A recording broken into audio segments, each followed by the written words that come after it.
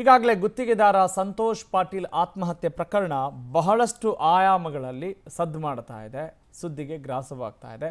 ಭ್ರಷ್ಟಾಚಾರ ಅನ್ನೋದು ಯಾವ ರೀತಿ ಇಲ್ಲಿ ಪ್ರಾಣ ತೆಗಿತಾ ಇದೆ ಅನ್ನೋದನ್ನು ನಾವೆಲ್ಲರೂ ಕೂಡ ಯೋಚನೆ ಮಾಡ್ತಾ ಇದ್ದೀವಿ. ಗುತ್ತಿಗೆದಾರ ಸಂತೋಷ್ ಪಾಟೀಲ್ ಆತ್ಮಹತ್ಯೆ ಪ್ರಕರಣ.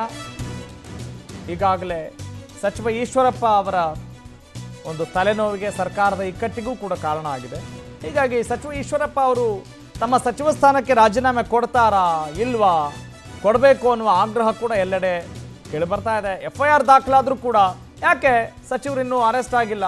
ಸಚಿವರು ಅನ್ನೋ ಕಾರಣಕ್ಕ, ಪ್ರಭಾವಿಗಳು ಅನ್ನೋ ಕಾರಣಕ್ಕ ಅಥವಾ ತಮ್ಮದೇ ಸರ್ಕಾರ ಅನ್ನುವ ಕಾರಣಕ್ಕ ಹೀಗೆ ಈ ಎಲ್ಲ ಪ್ರಶ್ನೆಗಳನ್ನು ಜನಸಾಮಾನ್ಯರು ಕೇಳ್ತಾರೆ. ಜನಸಾಮಾನ್ಯರಾಗಿದ್ದರೆ ಸುಮ್ಮನೆ ಬಿಟ್ಬಿಡ್ತಾರೇನ್ರಿ ಅನ್ನುವ ಪ್ರಶ್ನೆಗಳು ಕೂಡ ಇಲ್ಲಿ ಉದ್ಭವಿಸ್ತಾ ಇದ್ದಾವೆ.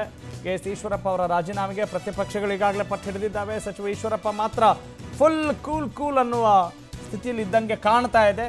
ಅವರ ಉಡಾಫೆ ವರ್ತನೆಯನ್ನು ಗಮನಿಸಿದಾಗ ಕಮಲ ನಾಯಕರಿಂದಲೂ ಕೂಡ ಈಶ್ವರಪ್ಪ ಅವರ ಪರ ಸಮರ್ಥನೆಯ ಮಹಾಪೂರವೇ ಹರಿದಿದೆ. ಸಂತೋಷ್ ಆತ್ಮಹತ್ಯೆ ಕೇಸ್ನ ಸಂಪೂರ್ಣ ತನಿಖೆ ನಡೆಯಲಿದೆ. ತನಿಖಾ ವರದಿ ಬರೋವರೆಗೂ ಕೂಡ ಯಾವ ಕ್ರಮ ಇಲ್ಲ ಅಂತ ಮುಖ್ಯಮಂತ್ರಿ ಬಸವರಾಜ ಬೊಮ್ಮಾಯಿ ಸಾರಾಸಗಟಾಗಿ ಹೇಳಿದ್ದಾರೆ. ಪ್ರಾಥಮಿಕ ವರದಿ ಬರುವವರೆಗೂ ಈಶ್ವರಪ್ಪ ರಾಜೀನಾಮೆ ಇಲ್ಲ.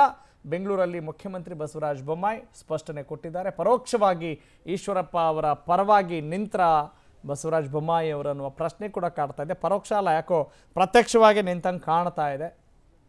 ಯಾಕೆಂತ ಹೇಳಿದ್ರೆ ಭಾರತೀಯ ಜನತಾ ಪಕ್ಷದ ನಾಯಕರ ಒಂದೊಂದು ನುಡಿಮುತ್ತುಗಳನ್ನು ನಾವು ಗಮನಿಸಬೇಕು. ಪಕ್ಷ ಅಂತ ಬಂದರೆ ನಾವು ನಿಷ್ಠಾವಂತ ಕಾರ್ಯಕರ್ತ ಅಂತ ಹೇಳ್ತಾರೆ. ಮೊದಲು ದೇಶ, ಆಮೇಲೆ ಪಕ್ಷ, ಆಮೇಲೆ ನಾವು ಅಂತ ಹೇಳುವಂಥ ಸಿದ್ಧಾಂತವಿರುವಂಥ ಭಾರತೀಯ ಜನತಾ ಪಕ್ಷದ ನಾಯಕರೇ ಈಗೇನು ಮಾಡ್ತಾ ಇದ್ದೀರಿ? ಹೇಳೋದು ಅನಾಚಾರ, ಮನೆ ಮುಂದೆ ಬೃಂದಾವನ ಇದು ಇಲ್ಲಿ ಗೊತ್ತಾಗ್ತಾ ಇದೆ. ಹೇಳೋದು ಆಚಾರ, ತಿನ್ನೋದು ಬದನೇಕಾಯಿ ಅನ್ನೋ ಥರದಲ್ಲಿ ನಾವು ನೋಡ್ತಾ ಇರ್ತೀವಿ. ಒಟ್ಟಿನಲ್ಲಿ ಈ ನಡವಳಿಕೆಗೂ ತಮ್ಮ ಮಾತಿಗೂ ಸಾಮ್ಯತೆ ಇಲ್ಲದೇ ಇದ್ದಾಗ ಜನರ ಆಕ್ರೋಶ ಕೂಡ ಸಹಜವಾಗಿ ಭುಗಿಲಿಲ್ಲತ್ತೆ. ಈ ಈ ಕೇಸ್ ಏನಿದೆ, ಸಂತೋಷ್ ಅವರ ಆತ್ಮಹತ್ಯೆ ಏನಿದೆ ಸಂಪೂರ್ಣವಾಗಿ ತನಿಖೆ ಆಗುತ್ತೆ, ಸತ್ಯ ಹೊರಬರಲಿದೆ. ಆಧಾರರಹಿತವಾದಂಥ ಆರೋಪಕ್ಕೆ ನಾವು ಯಾವುದಕ್ಕೂ ಪ್ರತಿಕ್ರಿಯೆ ಕೂಡ ಅವಶ್ಯಕತೆ ಏನು ಆಧಾರ ಇದ್ರೆ ಹೋಗಿ ತನಿಖೆ ಮಾಡೋದು. ಹೈಕಮಾಂಡ್ ತೀರ್ಮಾನ ಏನು ಸರ್ಕಾರ ನಿಮ್ಮ ಇಲ್ಲ ತೀರ್ಮಾನ ಏನು? ಹೈಕಮಾಂಡ್ ಇದ್ರಾಗೇನು ಅವ್ರಿಗೇನು ತೀರ್ಮಾನ ಮಧ್ಯಪ್ರವೇಶ ಏನಿಲ್ಲ ಆಯ್ಕೆ ಇಷ್ಟಪಡ್ತಿದ್ದಾರೆ ಅವ್ರೇನು ಅವ್ರಿಗೇನು ರೋಲ್ ಇಲ್ಲ ಇದರಲ್ಲಿ.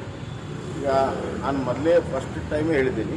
ಪ್ರಿಲಿಮಿನರಿ ಇನ್ಕ್ವೈರಿ ಆದಮೇಲೆ ಏನು ಅದರ ಆಧಾರಿತವಾದಂಥ ಕ್ರಮಗಳನ್ನು ಕೈಗೊಂಡಿದ್ದೀನಿ ಅಂತ ಲೆಟ್ ಪ್ರಿಲಿಮಿನರಿ ಇನ್ಕ್ವೈರಿ ಈಗ ನಿನ್ನೆ ರಾತ್ರಿನೇ